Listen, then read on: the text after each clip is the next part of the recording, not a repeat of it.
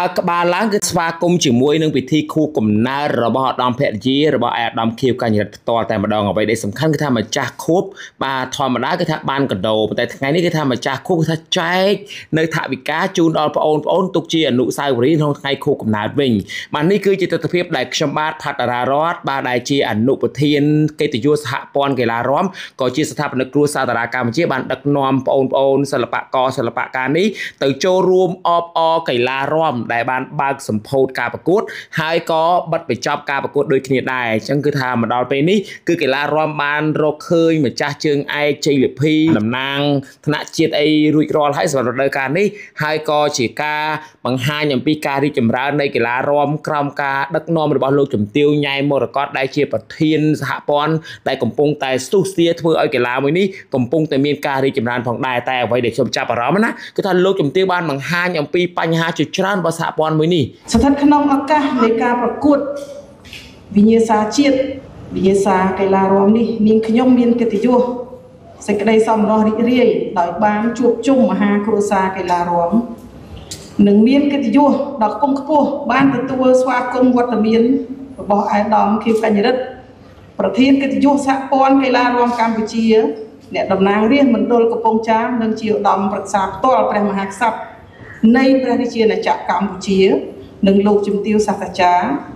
ព្រមទាំងអាដាមលោកជំទាវលោកញ៉ាលោកលោកស្រីនាងកញ្ញានិងអង្គពិធីទាំងមូល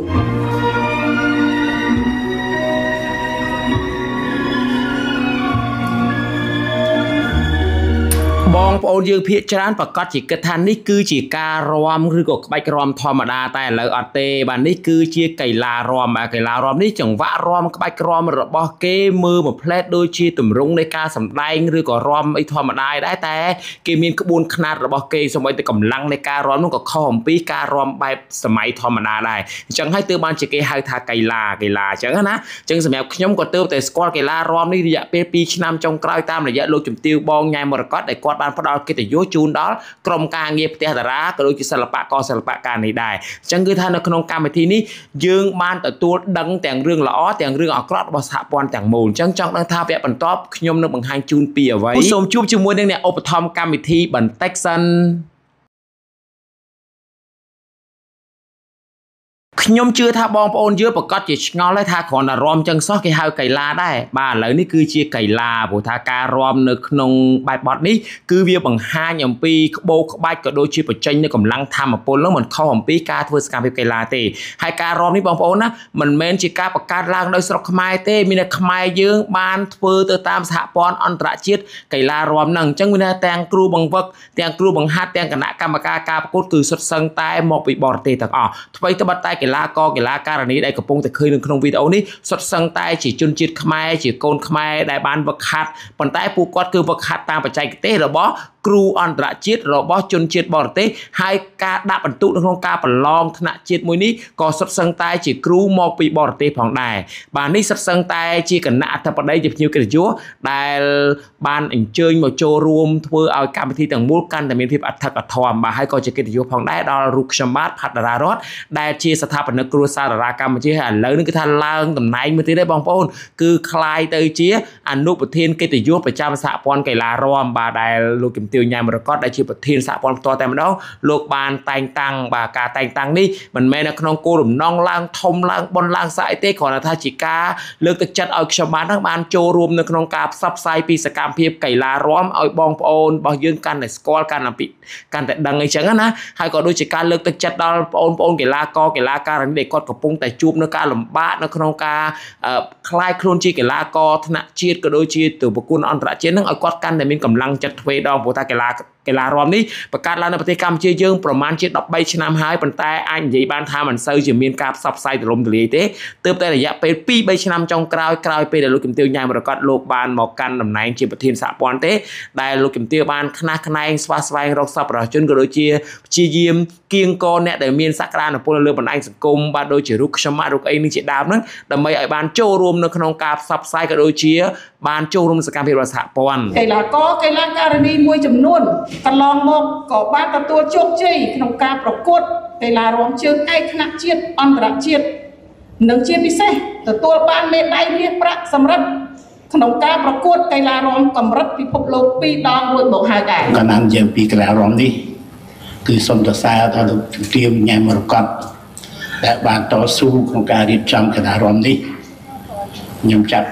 ខ្ញុំនឹកឃើញថាពេលដែលយើងចាប់ផ្ដើម ធ្វើដំបូងអ្នកសរសើរមានតិចណាស់បាទអញ្ចឹងដោយឯកឧត្តមគណៈអធិបតីលោកបានមានប្រសាសន៍អញ្ចឹងគឺថាកីឡារាំនេះកាលពីបង្កើតដំបូងដំបូងគ្មានអ្នកគ្រប់គ្រងទេមានអ្នកខ្លះគេសើចគេយំទៀតផងប៉ុន្តែមកដល់បច្ចុប្បន្នគឺថាកីឡារាំរបស់យើងកំពុងតែបានដណ្ដើមនឹងមេដាយថ្នាក់អន្តរជាតិនឹងជាបន្តបន្ទាប់មកឲ្យកូនខ្មែររបស់យើងខ្ញុំនៅតែបញ្ជាក់ដដែលដែរថាកីឡារាំមួយនេះមិនមែនជាកីឡាដែលយើងបង្កើតក្បាច់រាំដោយខ្លួនឯងទេគឺសុទ្ធសឹងតែជាការបង្វឹកបង្ហាត់ដោយគណៈកម្មការអន្តរជាតិទាំងអស់បាទនេះហើយសុទ្ធជាបញ្ហារបស់សហព័ន្ធយើងពីព្រោះថាការអញ្ជើញគ្រូពីបរទេសមកបង្ហាត់មកបង្ហាញយើងទាំងអស់គឺសុទ្ធតែត្រូវបានចំណាយថវិកាហើយការបញ្ជូនកូនខ្មែរយើងឲ្យទៅវឹកហាត់ទៅរៀនក្បាច់ក្រមឲ្យត្រូវនឹងទម្រង់នៃសហព័ន្ធអន្តរជាតិក៏សុទ្ធតែចំណាយលុយហើយអ្វីដែលជាផលវិបាកមួយទៀតដែលខ្ញុំបានទទួលដំណឹងពីលោកជំទាវប្រធានសហព័ន្ធដោយផ្ទាល់បានជម្រាបប្រាប់ខ្ញុំណាសម្លៀកបំពាក់របស់កីឡារំទាំងបរោះទាំងស្ត្រីដែលបានឃើញនៅក្នុងវីដេអូនេះមិនមែនកាត់ដោយខ្លួនឯងឬក៏មិនមែនទៅទិញកែច្នៃដោយខ្លួនឯងទេលុះត្រាតែកំងចេញពីគណៈកម្មការអន្តរជាតិអញ្ចឹងមកកាផ្លេមកកាផ្លេគឺមានតម្លៃថ្លៃណាស់មិនមែនថាយើងនឹកឃើញចង់ឆ្នៃរ៉ូបខ្លួនឯងឆ្នៃកៅអៅខ្លួនឯងយកមកសៀកយកមកពាក់គឺអត់ទេហើយសម្លៀកបំពាក់ទាំងអស់គឺសុទ្ធសឹងតែត្រូវបានប្រើទៅតាមវិញ្ញាសាផ្សេងផ្សេងគ្នាទម្រង់កីឡារាំបែបបត់ខុសៗគ្នាមិនមែនស្លៀកតែមួយនោះស្លៀកប្រកួតគ្រប់វិញ្ញាសាឬក៏គ្រប់បែបបត់ទេបាទនេះសុទ្ធសឹងតែជាបងប្អូនដែលជាម្ចាស់មេដាយមាសមេដាយប្រាក់មេដាយសម្រិតដែលទទួលបានជ័យលាភីពីការប្រកួត បាទកីឡាជាតិបាទកីឡារាំដែលទើបតែបានបញ្ចថ្មីថ្មីនេះបាទអញ្ចឹងឃើញថាបងប្អូនខ្មែរយើងឥឡូវគឺគាត់ប្រកែកហើយពួកគាត់មិនមែនមានតែស្នាដៃក្នុងប្រទេសណាបងប្អូនគឺនៅលើឆាកអន្តរជាតិក៏ទទួលបានមេដាយជូនដល់ប្រទេសកម្ពុជារបស់យើងឲ្យមានកិត្តិយសនៅលើវិស័យនេះផងដែរនេះហើយគឺជាការដឹកនាំដ៏ជោគជ័យរបស់លោកជំទាវញ៉ែមរកតដែលលោកជំទាវបានមកដឹកនាំសហព័ន្ធនេះទើបតែរយៈពេលខ្លីទេតែអាចធ្វើឲ្យបងប្អូនមានការរីកចម្រើនធ្វើឲ្យសហព័ន្ធទាំងមូលទូការគ្រប់គ្រងរហូតដល់គៀងកូនអ្នកដែលល្បីទៅល្បីទៅនៅក្នុងសង្គមបច្ចុប្បន្នហ្នឹងឲ្យคล้ายទៅជាសប្បុរសជនឲ្យคล้ายទៅជាអ្នកទ្រ ទ្រង់សហព័ន្ធហើយគៀងកទាំងសិល្បករសិល្បករនេះរួមទាំងខ្ញុំបាទឲ្យមកចូលរួមក្នុងការផ្សព្វផ្សាយផងដែរបាទនេះជាសកម្មភាពនៃការផ្ដល់ជូននៅមេដៃមានមេដៃប្រាក់ក៏ដូចជាប្រាក់រង្វាន់ជូនដល់បងប្អូនបើឃើញថាបងប្អូននៅក្នុងការរំពេលដែលយើងមើលទៅឃើញថាធម្មតាតាមពិតមិនមែនទេគឺប្រឹងណាស់គឺម្នាក់នេះគឺរំឃើញហើយរំតាំងពីត្រូវតម្រង់ឆ្អឹងខ្នងត្រូវកោងមិនត្រូវងើយមិនបាទត្រូវធ្វើឲ្យត្រង់ខ្លួនមិននិយាយរួមទៅអឺកីឡានេះបើតាមខ្ញុំគិតបើសិនជាបងប្អូនយើងចូលរួមនៅក្នុងការវឹកហាត់នឹងជួយសរីរាង្គរបស់យើងល្អច្រើនក្រៅពីជួយឲ្យបញ្ចេញញើសគឺធ្វើឲ្យរាងកាយយើងត្រង់រឹងមាំល្អអីចឹងណាបាទអញ្ចឹងបងប្អូនយើងគួរតែ ធ្វើការចូលរួមនៅក្នុងការវិវត្តខ្លួនខ្លាយទៅជាកីឡារាំផងដែរព្រោះថាការបង្វឹកខ្លួនខ្លាយជាកីឡារាំអត់ពិបាកទេឲ្យតែបងប្អូនយើងមានចំណាប់អារម្មណ៍មានចំណង់ហើយតាក់ទងទៅកាន់សហព័ន្ធនោះសហព័ន្ធនឹងប្រាប់ពីរបៀបរបបនៅក្នុងការវឹកហាត់នៅក្នុងការបំលែងខ្លួនឲ្យខ្លាយទៅជាកីឡាករកីឡាការិនីហើយហើយអ្វីដែលខ្ញុំបានទទួលព័ត៌មានពីលោកជំទាវផ្ទាល់គឺថាសហព័ន្ធនេះកំពុងតែខ្វះកីឡាករច្រើនមែនទែនគឺខ្វះ អ្នកវឹកហាត់ជាបរោះនិយាយសួរស្ដាប់គឺថាសបោតែនារីប្រុសប្រុសថាមិនសូវមានការគ្រប់គ្រងអញ្ចឹងដោយសារកីឡានេះអាចថារៀងពិបាកដែរបាទព្រោះមិនមែនសូនដោយរំវងរងបៃសារបានរបស់ខ្មែរយើងទេបាទហើយបងប្អូនទាំង3ដែលកំពុងតែឃើញនឹងវីដេអូឃ្លីបនេះមិនមែនគាត់ឡើងទទួលពីទទួលអីណាបងប្អូនណាគឺគាត់គ្រាន់តែសម្ដែងលេងសើចនៅក្នុងកម្មវិធីនៅពេលដែលបញ្ចប់ហើយបញ្ជាក់ថាអូពួកគាត់នឹងក៏ទទួលបានចំណាត់ថ្នាក់លំដាប់លេខរៀងលេខ1លេខ2លេខ3ផងដែរបន្ទាប់ពីបានមកចូលរួមគ្រប់គ្រងកីឡារំដែលអញ្ជើញផ្ដល់កិត្តិយសដល់លោកជំទាវញ៉ែមរកតហ្នឹងបាទហើយបន្ទាប់ពីយើងបាន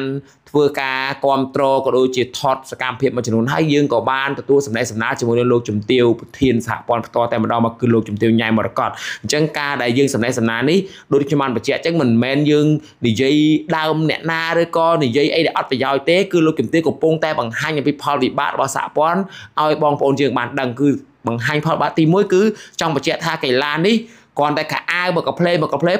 600ដុល្លារណាទៅតាមប្រភេទទៅតាមឈុតអញ្ចឹងកីឡាករទាំងអស់គឺគាត់ពិបាកនៅក្នុងបញ្ហានឹងព្រោះពេលខ្លះគាត់អត់មានលទ្ធភាពក្នុងការទិញទេអញ្ចឹងគាត់ត្រូវស្ម័គ្រចិត្តធ្វើជាកីឡាករគាត់ខំហ្វឹកហាត់ហើយគាត់ត្រូវចំណាយលុយក្នុងការទិញកៅអៅឲ្យត្រូវទម្រង់ទៀតទាំងស្បែកជើងទាំងកៅអៅទាំងអីចឹងណាបាទត្រូវកំងពីអន្តរជាតិបានអាចយកមករៀបចំប្រកួតនៅក្នុងកម្មវិធីនឹងបានបាទអញ្ចឹងគឺធ្វើឲ្យគាត់ខ្វះខាតហើយលោកជំទាវក៏មានប្រសាសន៍ថាកីឡារាំនេះមិនមែនតែគេហៅកីឡារាំបែប គេហៅកីឡារាំសម្រាប់អ្នកអភិជនព្រោះថា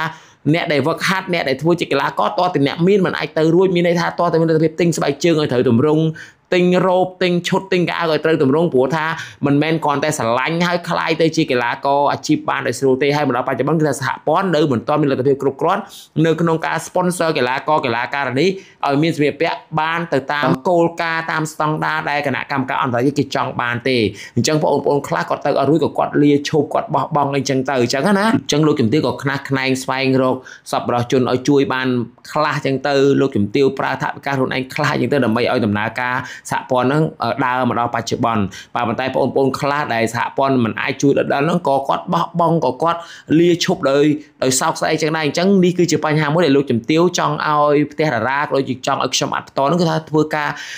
បកគោប្រកាសបរោះបរហើពីផលវិបាកនេះដើម្បីគៀងកដល់សប្បុរសជនដែលលោកមានទឹកចិត្តក្នុងការចូលរួមចំណែកជួយលើកស្ទួយណាឲ្យគាត់បាន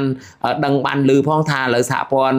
កីឡារាំនោះគឺថាត្រូវការការជ្រោមជ្រែងទី1គឺត្រូវការឲ្យមានសប្បុរសជនជួយ sponsor សម្ភារបំពាក់ដល់កីឡាករព្រោះមកដល់បច្ចុប្បន្នមានកីឡាករប្រមាណជា50រូបទាំងបរិសុទ្ធទាំងស្ត្រីតែភាគច្រើនគឺជាក្មេងស្រីបងអូនប្រុសប្រុសមិនសូវមានការចូលរួមវឹកហាត់ឬក៏វិវត្តខ្លួនខ្លាចជាកីឡាករទេអាចថាកូនខ្មែរយើងហាក់ដូចជាមិនទាន់មានការគ្រប់គ្រងកីឡានឹងទូលំទូលាយអញ្ចឹងណាបាទអញ្ចឹងគឺសូមឲ្យសប្បុរសជនជួយជ្រោមជ្រែងទៅលើកីឡាករប្រមាណ50រូបដែលកំពុងតែមានវត្តមានក្នុងសហព័ន្ធបច្ចុប្បន្ននេះចំណុចទី1ចំណុចទី2ឥឡូវនេះគឺថាលោកជំទាវឧស្សាហ៍មានសកម្មភាពក្នុងការបញ្ជូនកីឡាករកីឡាការនៃខ្មែរយើងទៅប្រកួតនៅក្រៅប្រទេសណាបាទអាចទៅប្រកួតអន្តរជាតិពិភពលោកផងអាស៊ានផងអាស៊ីផងអីចឹងណាញឹកញាប់អញ្ចឹងនៅក្នុងការបញ្ជូនទៅម្ដងម្ដងហ្នឹងក៏ប្រឈមនឹងការខ្វះខាតដែរជាពិសេសគឺថាខ្វះខាតថវិកាក្នុងការបញ្ជូនពួកបងប្អូនទៅវឹកហាត់នៅក្រៅប្រទេសបាទខ្វះខាតលទ្ធភាពក្នុងការអញ្ជើញលោកគ្រូអ្នកគ្រូដែលមានជំនាញមានឯកទេសពិតប្រាកដផ្នែកកីឡានឹងពីអន្តរជាតិមកបង្ហាត់កូនខ្មែរយើងអីចឹងទៅអញ្ចឹង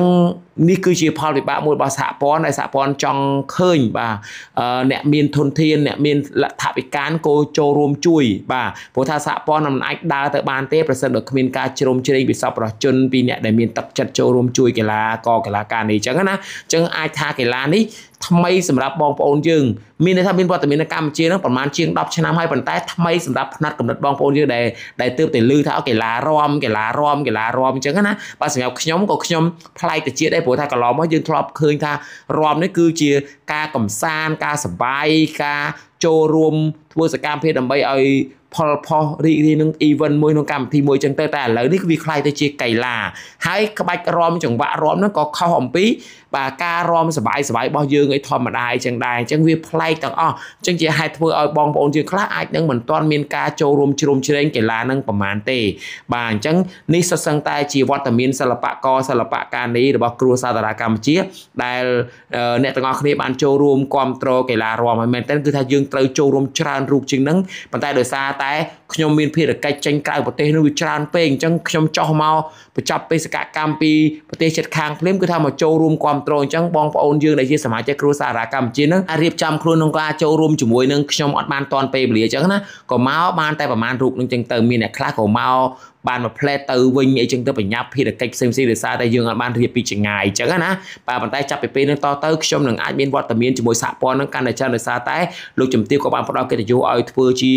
អនុប្រធានកិត្តិយសអញ្ចឹងអាចនឹងមានវត្តមាន ស្ទើរតែទាំងអស់របស់សហព័ន្ធហើយគ្រាន់ថាអាចទាំងបាត់មុខខ្លះអីទៅតាមភាពជាក់ស្ដែងអីចឹងទៅអញ្ចឹងឃ្លីបនេះគឺមានតែប៉ុណ្ណឹងទេគ្រាន់តែចង់បង្ហាញជូនលោកអ្នកអំពីសកម្មភាពខ្លះខ្លះរបស់សហព័ន្ធកីឡារាប់បាទនេះសូម្បីតែជាវត្តមានរបស់បងប្អូនដែលជាម្ចាស់ជ័យលីភីបាទអ្នកលេខ1លេខ1នេះគឺមានច្រើនវិញ្ញាសាគ្រាន់តែបងប្អូនគឺជាជ័យលីភីមួយក្នុងចំណោមវិញ្ញាសាមួយដែលបានប្រកួតចឹងណាបាទហើយសរុបមកគឺថាថ្ងៃនេះគឺថាយើងបានស្គាល់កីឡារាំទាំងអស់គ្នាបាទផ្ទះតារាព័ត៌មានស៊ីជម្រៅនិងច្បាស់លាស់